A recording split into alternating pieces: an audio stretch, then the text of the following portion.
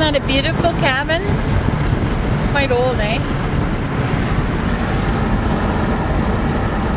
We're somewhere outside of Toccoa. Heading toward I-85.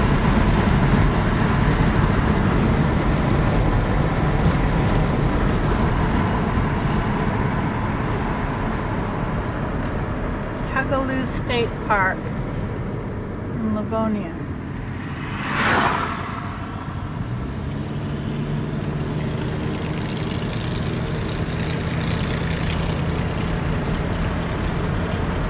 You know, when I go home, I'm going to be selling soap, I guess, at the market every Saturday.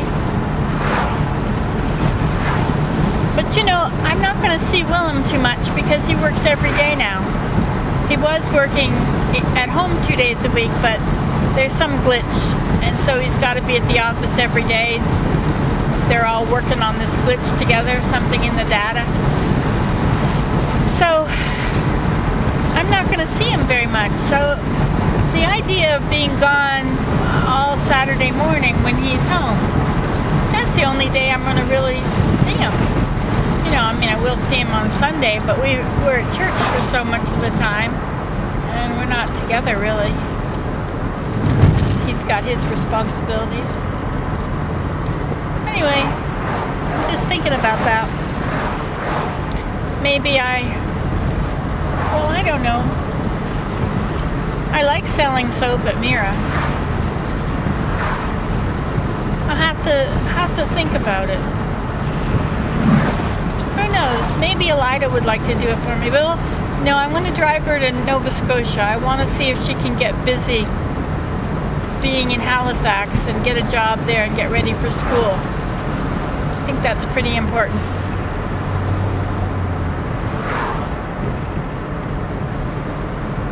I do.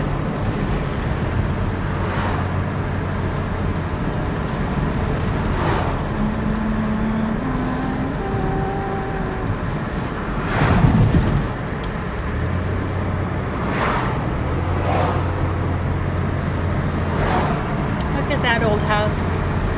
I wonder if that was here before the Civil War. The Civil War was in 1860 to 1865.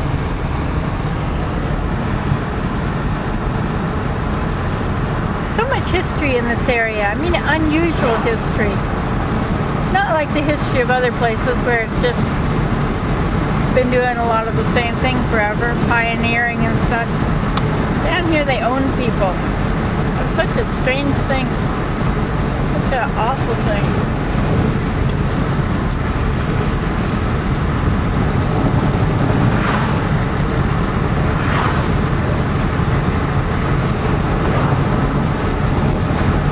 You notice they don't have big ditches on either side of the road. Like on the other side they seem to. And here it does go down. Well, I guess you could say they have a ditch on either side. But they don't have a big shoulder on either side.